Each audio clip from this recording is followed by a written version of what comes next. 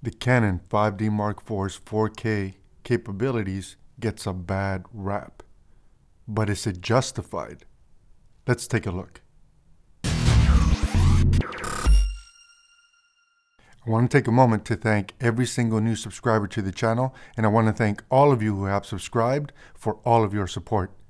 Now, you're going to want to stick to the end on this one because I'm going to show you just how hard you can actually push the Canon 5D Mark IV's motion JPEG codec when you're color grading in post in a variety of cinematic film looks as well as a couple of heavily stylized color grading looks.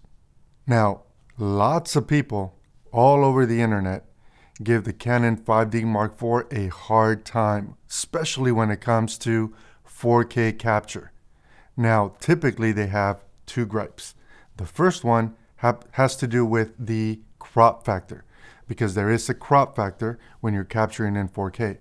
I've actually already done a video addressing the crop factor and how it is that I work around it and what that actually really means in practical terms. And I'll put a card up above so that you guys can check that out if you'd like.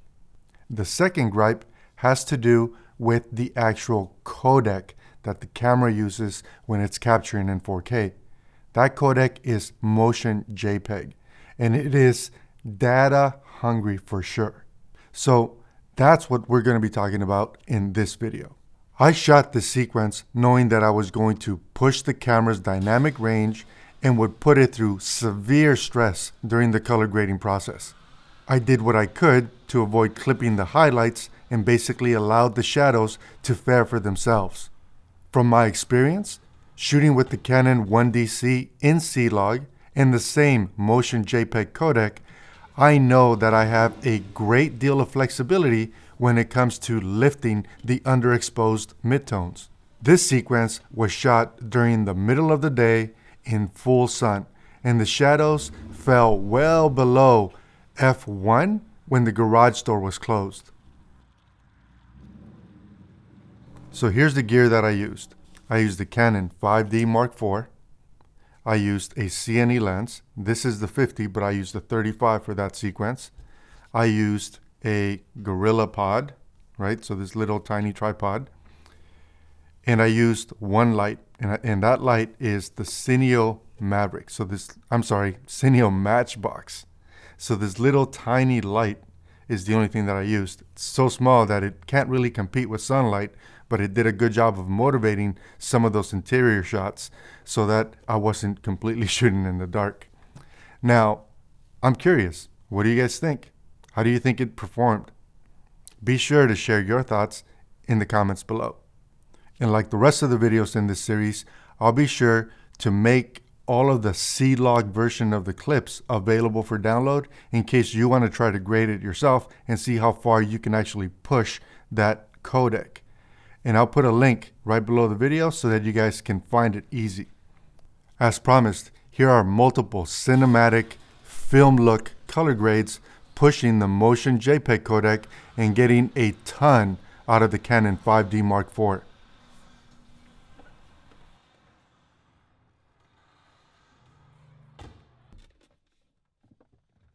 I really enjoy working with high quality codecs because they offer so much more flexibility.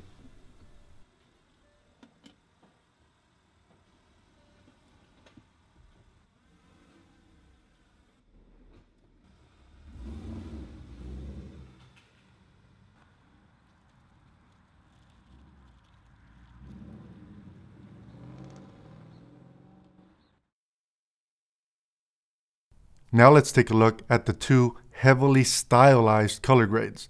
First, the traditional orange and teal blockbuster type of look.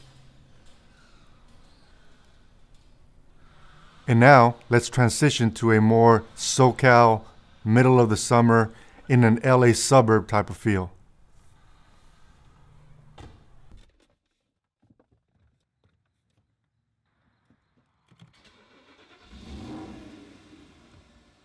I really hope that you enjoyed this as much as I enjoyed putting it together for you. Don't forget to subscribe so that you can catch all the videos in the series. And until next time, I'm Carlos Quintero from MediaOnQ, helping you compete in today's web economy. Thank you for watching.